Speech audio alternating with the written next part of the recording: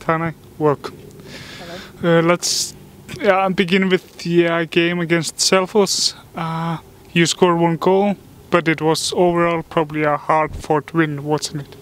Yeah, it was a really tough game. It's always a tough game to play away at Selfos. It's always the conditions are always pretty windy, and um, Selfos is just you know they're a tough team to play against. They're very physical, and we knew that going into that game. And I thought that we fought hard the whole time and did what we needed to do to get the win. It wasn't a very pretty game. You know, we didn't control the ball as much as we probably wanted to, but I thought that we stuck it out and played well and got what we needed out of that, and that was the three points.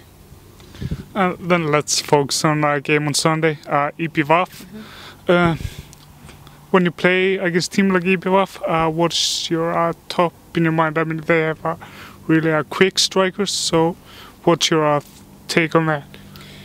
I think if we're able to, you know, keep them in front of us and not let them get behind our back line, then we're fine. We're usually able to kind of dictate the pace a little more and you know IBV tries to play a lot too so it's always it's always a good game and I like playing them it's a physical game but I think both teams are really good and it'll just be a good game to watch on Sunday and now you girls are still undefeated. Uh, two games. Uh, what lessons have you girls learned from these two games that you can take with with you on uh, Sunday?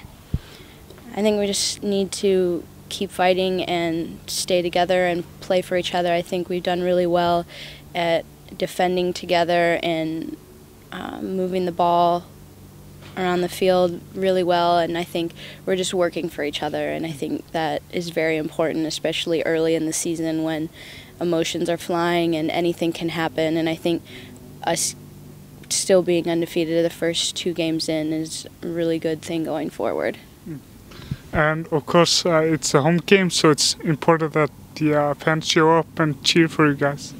Yeah i hope everyone can come out. I hope it'll be a beautiful day on sunday and you know we love having the support of everyone here especially you know kayla and i coach a lot of the younger girls and we love seeing them out here so they can watch us you know and we watch them and i think i think that's just really good for the community here and finally, uh, you scored la last game. Uh, can you pro promise me a one on on Sunday? I can promise you that I'll do everything I can to get another goal. Thank you very much. Thank you. Jóhann, velkomin. Herri, byrjum fyrst að þess á Selfoss-leiknum að þrjútu sigur að spilaðast leikurinn eins og þú hafði sett hann upp?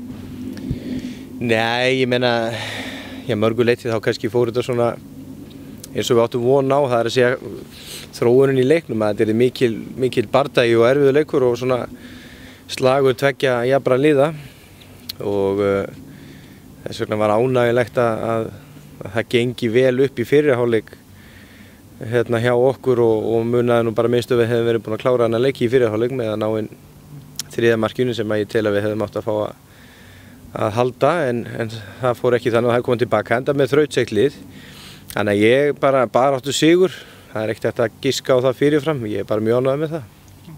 En við snúum okkur bara á næsta leik IBF, þetta, ja, við getum búist um mjög erfiðin leik Já, þær eru þær eru alltaf hérna ólsegar og, og erfitt að eiga við þær og, og tekur bara liði þeirra fram á við að þá er ekkert mörg lið í deildinni sem hafa svona hættulegan mannskap upp á topnum og hún getur tekið bara þrjár fremstu bara hérna svona þessar fljótu hjá þeim og svo eiga er inni enn á bekknum þannig að og fyrir utan þannig að þetta er þetta verður rosalega og er alltaf hættulegur og mér síndist nú vera glugga í hérna eitthvað sem að þið eða einhverju tekið saman í tölfræði þá hallar nú okkur í þessu, í þessu dæmi þannig að við erum ekki Við eigum ekki neitt inni fyrir þennan leik og, og höfum engin, ekkert efni á því að vera með einhvern, hérna, gorgir og vannmatt sko.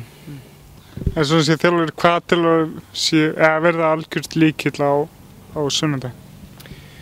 Ég held að, að hérna, það sem að líkillin inn í, eða líkillin okkar að því að, að eiga góðan leik og eiga möguleik á góðum úslitum sé einfallega sá að mæta vel undirbúnar og, og byrja leikin rétt og og komast þannig inn í leikina við, við svona treystum okkur til þess að fara að reyna stýrónum og, og hérna svo þurfum við bara að vera á vaktinni, þetta er ekki bara vakt, þetta er bakvakt og, hérna á móti íbjöfa því að þær þurfum ekki neitt, það getur allt í hennum bara dottið niður bolti hvað sem er á vellunum og það er búið að flengjurum inn fyrir á, á rakettuna eða þar og þannig að við þurfum að, að hérna, við þurfum að standa og manna vel alla vaktir.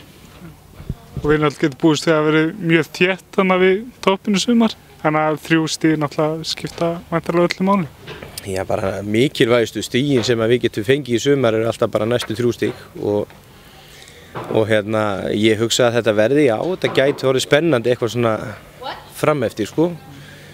Ég sé svo sem ekki neitt lið verið eitthvað að fara að slíta sér frá þessu en þó helst í harnan en, en hérna en svo eru bara lið hérna eftir líka blikar og, og valur og, og IBF og, og við og Selfoss. Svo náttúrulega bara er spútning liðið fylgir að, að hræra í hausnum og öllum núna og koma hérna alveg gjörsanlega stökkvandi inn í þetta mót. Þannig að þetta getur orðið svolítið svona pakki allir að reyta stiga af hvorurum En þú getur lofað góðverið skemmtun á sunnudagin. Það verður ekkert eðlilegt fjör hérna á sunnundagin sko, þannig að það verður allir að mæta og, og hérna ég sá að það var einhvers stað að mis skrifaði tímin, þannig að bara munna hvena leikurinn er, klúan 6 og þannig að það er fínt að kinda upp í grillinu og, og hérna kíkja á leikin og, og klára það svo eftir.